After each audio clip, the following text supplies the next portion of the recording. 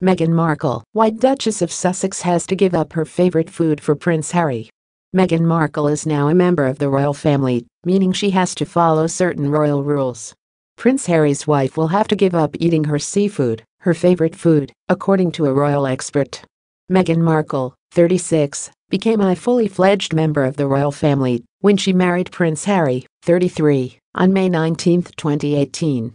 While she has gained a royal title as the Duchess of Sussex, she has also had to adhere to some strict protocol regarding her etiquette and royal fashion rules, such as wearing tights at all times.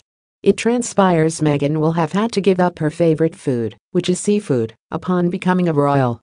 This is all down to a royal dietary rule followed by central members of the royal family, where they do not eat seafood.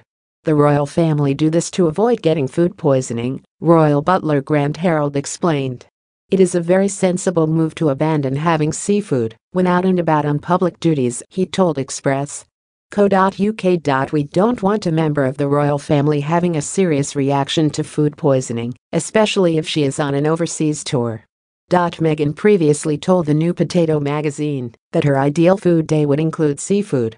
A leisurely dinner of seafood and pasta, and a Negroni to cap off the night. Meghan previously told the publication in 2013 when asked about her favorite foods.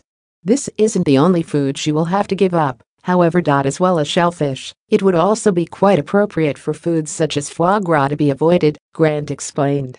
This was banned from the royal table by Prince Charles in 2008, according to The Telegraph.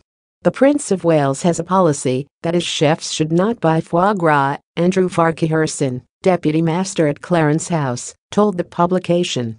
The ban is allegedly because of a commitment to animal welfare, rather than for food hygiene reasons. Yesterday, Meghan followed a number of Kate Middleton-inspired style rules to accompany the Queen. The newest member of the royals, who has been given the title of Duchess of Sussex, visited Cheshire today alongside the Queen.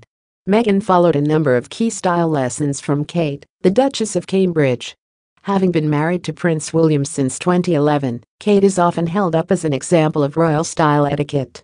From her nude nails to her sleek, wavy blow-dry, Meghan paid homage to Kate's style cues throughout the years.